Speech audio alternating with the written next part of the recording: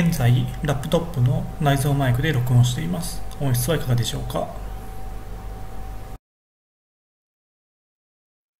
現在ラップトップの内蔵マイクに RTX ボイスをかませて録音しています。音質はいかがでしょうか？現在、ゼンハイザーの PC5 チャットというヘッドセットで録音しています。音質はいかがでしょうか？現在、ゼンハイザーの PC5 チャットというヘッドセットに RTX ボイスをかませて録音しています。音質はいかがでしょうか？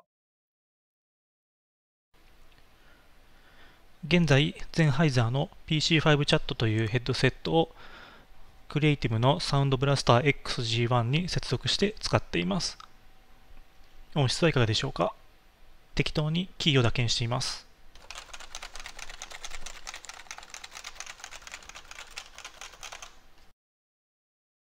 現在、ゼンハイザーの PC5 チャットというヘッドセットをクリエイティブのサウンドブラスター XG1 に挿し、さらに RTX ボイスをかませて録音しています。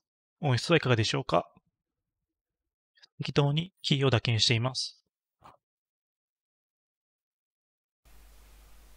現在、レーザークラーケンというヘッドセットで録音しています。音質はいかがでしょうか？現在、レーザークラーケンというヘッドセットに RTX ボイスをかませて録音しています。音質はいかがでしょうか？現在、レーザークラーケンというヘッドセットをクリエイティブのサウンドブラスター XG1 というサウンドカードに差し込んで使っています。音質はいかがでしょうか？現在、レーザークラーケンというヘッドセットをクリエイティブのサウンドブラスター XG1 という外付けサウンドカードに差し込み、さらに RTX ボイスをかませて録音しています。音質はいかがでしょうか？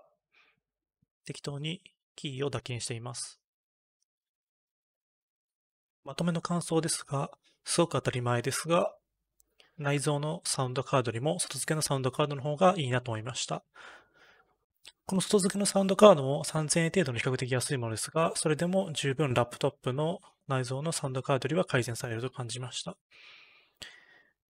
ヘッドセットの方は、レーザークラーケンが9000円ぐらいで、ゼンハイザーの PC5 チャットの方が3000円ぐらいなので、まあ、その値段のその分、レーザークラーケンの方がいいマイクだなという当たり前の感想を得ました。RTX ボイスに関しては、外の音を完璧に消せるんですが、やはり元の音が悪いとすごく劣化してしまうという当然の結果が分かりました。